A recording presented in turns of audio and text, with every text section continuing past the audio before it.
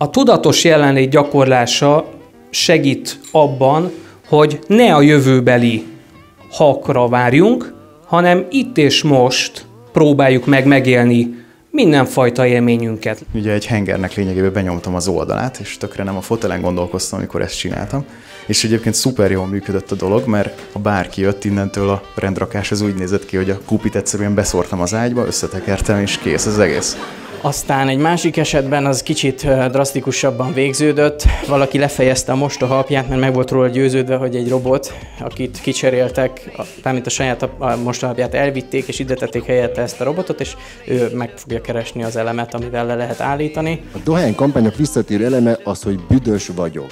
Büdös a szám, dől belőlem a dohányzat, pedig milyen jó csaj, és mégis büdös.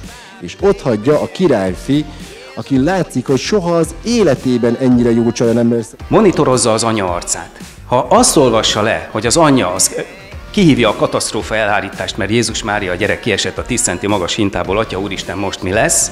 Tudja, hogy agyalapit kapott, vagy bármi mást akkor ugye a gyerek úgy fog ordítani, mint a sakál. Akkor a szemük mögötti méreg mirigyből egy fehéres folyadékot választanak ki, és az frissen lenyalva kellemes érzéseket okoz. Mondhatnám, hogy csak az első csóka nehéz, utána már a király kisasszonyt látja benne a fogyasztó.